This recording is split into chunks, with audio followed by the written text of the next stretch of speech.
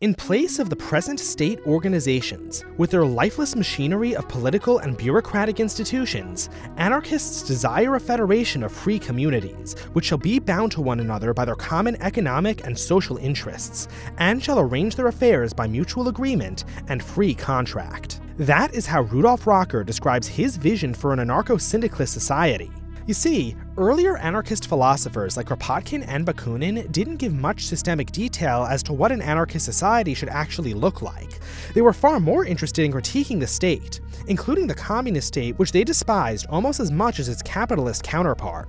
Whenever they did offer their vision for anarchy, they were remarkably conservative, Kropotkin envisioned a largely traditional society in which men worked while women stayed home to raise their kids. The only real changes were that the men's hours would be shorter, the women would be allowed to work too, and no one would swing by to collect taxes or conscript soldiers. But small anarchist communities don't make sense in an industrialized world. It was the need to bridge this gap that gave rise to anarcho syndicalism. So you can call me Ezekiel. This is anarcho syndicalism. Let's jump in! The first thing to understand about anarchism is that it makes no claims to being utopian. Anarchists view themselves not as trying to create a perfect world, but as trying to make the best of the situation they find themselves in. Utopianism is for the state. For what can be more utopian than expecting to find a community of perfect men to run our lives for us by force? Anarcho syndicalism takes its name from the Workers' Syndicate, Worker syndicates originated in France as normal trade unions, but with their increasing radicalization, the syndicates became more like political parties. This marriage is important because anarcho syndicalists are highly skeptical of political parties. Parties frequently sell out their membership, and even when they do succeed in passing legislation, the words on paper and the reality in the factory don't always match. A law limiting an 8 hour workday or banning child labor does not always have a real world effect. Such rules often don't leave the paper they're written on. Anarcho syndicalists are uninterested in platonic appeals to laws or constitutions. They want actual change. So, by merging the political and labor organization into one, worker syndicates can achieve their objectives better than political parties or trade unions alone. This is further reinforced by their internal structure. Unlike a political party or other trade unions, syndicates are not top down organizations, but voluntary and federalized bottom up structures. The final responsibility of a workers' syndicate is to, quote, educate their workers, which in socialist parlance really means politicizing them. Either way, as soon as a worker joins his syndicate, he will not only benefit from the advancement of his interests, but from political education too. But a single worker syndicate does not make up a society. Rather, it's just a building block. In an anarcho syndicalist society, each locality will have a syndicate for every trade. Each syndicate maintains the inalienable right to self determination, so they can never be subject to any authority that they do not themselves consent to. With that in mind, each locality's syndicates will be organized into a cartel. The cartel's function is to coordinate political activity and education for the locality. These labor cartels are then grouped by district and or region for the National Federation of Labor Cartels. This organization will, naturally, coordinate activity across the nation, especially for when stronger cartels are needed to assist the weaker ones. Syndicates are not just organized vertically, but horizontally too. All syndicates throughout the nation are allied with other syndicates of the same type in an industrial alliance.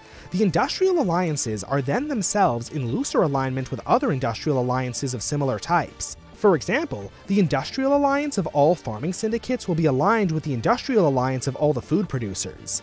All of the industrial alliances together form the Federation of Industrial Alliances. The Vertical National Federation of Labor Cartels and Horizontal Industrial Alliances form the two poles around which an anarcho syndicalist economy revolves. It should be noted that these two institutions are supposed to be formed even while the capitalist state is in charge, and that they should be the ones to lead the effort to overthrow it. Then, with the capitalist system destroyed, they become the new social structure. When this happens, it becomes the job of the Federation of Labor Cartels and the industrial alliances to manage the economy of the new society. Thus, the Federation of Labor Cartels will calculate the total material needs of the society, while the industrial alliances will produce it. All of this means that whereas most societies are structured like a pyramid, anarcho-syndicalist society is structured like a grid. In my opinion, the best way to describe this economy is decentralized central planning. Individuals have limited control over their economic activity. It's all planned for them. But instead of a central authority doing the planning, it's done by a series of distributed authorities, thus, decentralized central planning. That's the economic structure, but how would civil liberties fare under anarcho syndicalism? Very well, it turns out. The quintessential state communist, Lenin, famously said that free speech is a bourgeois prejudice.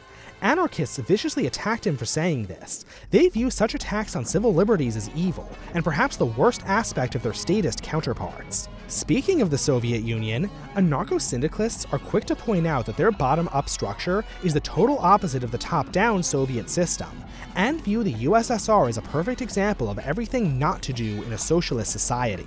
So with the syndicates controlling everything, does that mean they're technically states, making anarcho syndicalism a sham? Well, I'll leave that for you to decide. But in my opinion, it comes down to a key factor. Is membership to the worker syndicates mandatory?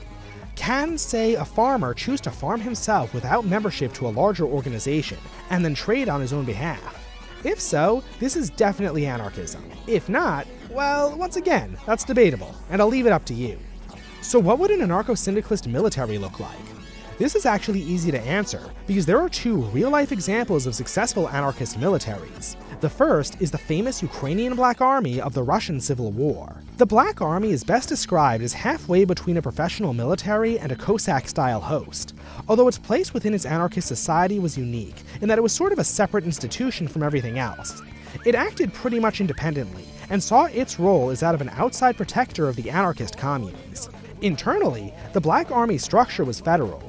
In the field, it performed extremely well, even against the best armies in the region, including the much larger and better equipped Russian White and Soviet Red armies. The other example would be the CNT FAI militia of the Spanish Civil War. They were an official anarcho syndicalist organization and fielded up to 120,000 militia soldiers. They were a key part of the Republican forces during the Spanish Civil War and performed about as well as any militia outfit should. And finally, while there are no historical examples of this, if you prefer the idea of a professional military in the Western tradition, I don't see any reason why there couldn't be soldier syndicates.